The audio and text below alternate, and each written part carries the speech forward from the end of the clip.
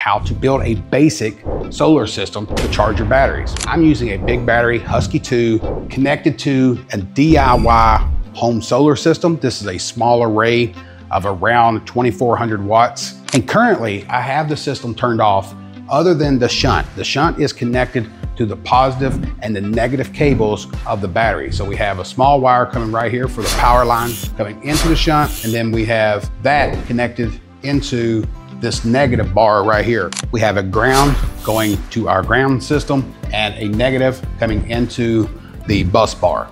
We have another bus bar here. So this is the positive side coming in from the battery. Then from here, we have this going this way, and then this coming in is being fed from the solar charge controller down into the battery.